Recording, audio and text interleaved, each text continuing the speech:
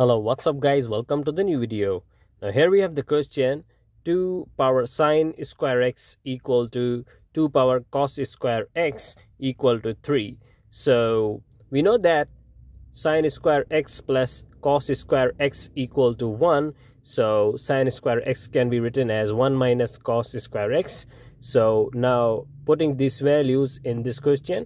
So 2 power 1 minus cos square x plus 2 power cos square x equal to 3. So this one 2 power 1 minus cos square x can be written as 2 over 2 cos square x because when the bases are same then we can subtract the powers. Now keeping y equal to 2 power cos square x. So 2 divided by y plus y equal to 3.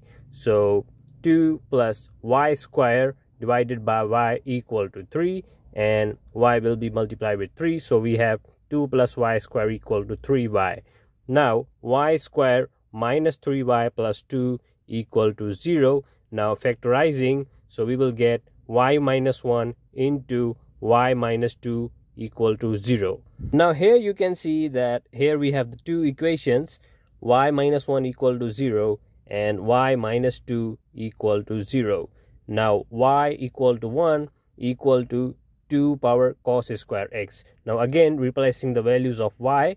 So according to the unit circle when cos x equal to 0 then we have pi over 2 and 3 pi over 2 at cos x equal to 0. So we can say that x equal to k into pi over 2 where k is the integer. Now from the second equation we have y minus 2 equal to 0 so we can say that y equal to 2 equal to 2 power cos square x.